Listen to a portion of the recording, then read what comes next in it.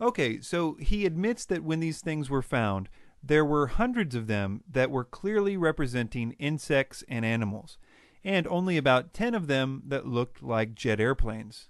Now, before we get into the specifics, I would like to appeal to your sense of logic. Almost all of these little figurines are depicting fish, birds, insects, lizards, and frogs.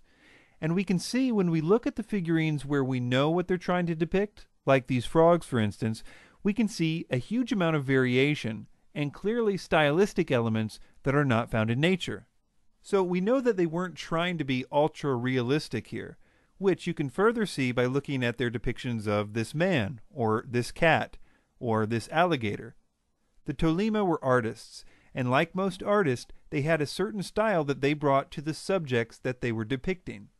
Now, considering that all the other objects they found are animals, and considering the objects in question, like all the others, have eyes and teeth and so on, isn't it more logical to assume that these objects are probably like all the others?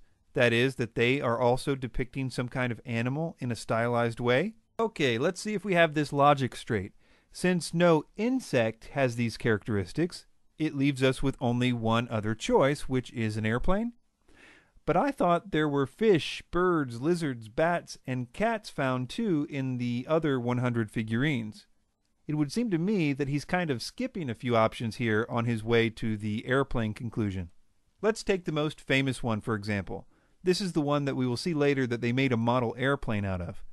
The tails of all these figurines are vertical, which would make me think of fish, which also have vertical tails.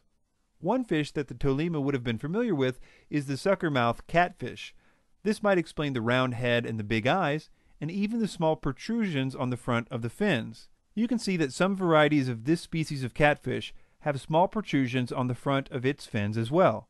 When you look at the other gold figurines, you can see that not only were fish a common subject, but many different species of fish were represented. Because of the number and placement of the fins, fish are proposed for some of the other figurines as well. So when he says that no insect has its wings on the bottom, so it must be an airplane, I can only see that as deceptive, considering the placement and angle of the fins are perfectly accounted for in many fish species that were available and important to the Tolima culture. In other words, airplanes don't have a monopoly on being aerodynamic.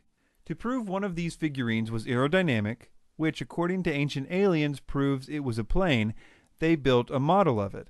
No, they didn't add an inch or remove an inch, unless you count things like totally removing the big curls on the front of the wings, which would have rendered the model totally useless for flying. They also added curvature to the wings, they added flaps, a landing gear, and one more little thing, a propeller and an engine. Finally, I want to appeal to your sense of logic on the following point. Consider that all we know about this culture reveals them to be simple farmers, fishermen, and artisans, people that lived off the land.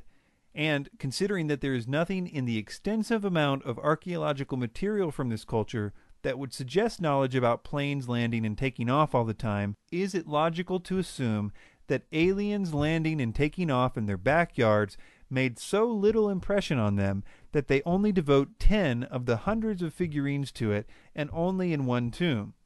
Or is it more logical to assume that just like the other hundreds of figurines with eyes and teeth and fins, that they are highly stylized animals, like fish, that they knew about and relied upon in their daily lives? I think even a die-hard ancient astronaut theorist would have to admit that logic is not on their side on this one.